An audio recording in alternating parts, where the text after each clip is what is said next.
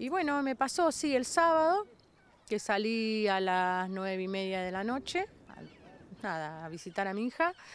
Cuando vuelvo a las doce y media de la noche me doy cuenta al desactivar la alarma, que bueno, ahí tengo otro tema para tratar, que no, no, no se disparó. Eh, me doy cuenta que habían entrado a la casa, eh, tenía toda la habitación revuelta, habían vaciado el ropero, no sé qué estaban buscando.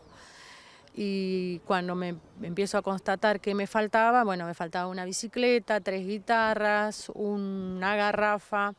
Se llevaron una cartuchera con cuarzos que yo utilizo para una terapia alternativa.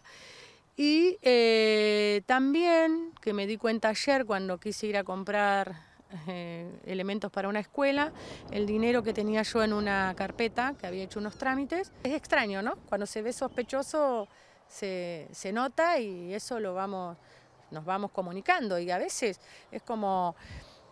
¿Qué hacemos? Llamamos a cada rato a la policía le decimos, mira, es sospechoso, pasó esto. Y, bueno, es también un poco, también cuidar a, las fuerzas que también están con otras cosas y bueno, decir, bueno, a ver cómo lo hacemos, cómo lo resolvemos. Yo hace 25 años que tengo el inmueble acá, una casa quinta, son todas casa quinta, gente trabajadora, profesionales, empleados, gente de bien que quiere mejorar y progresar en el barrio.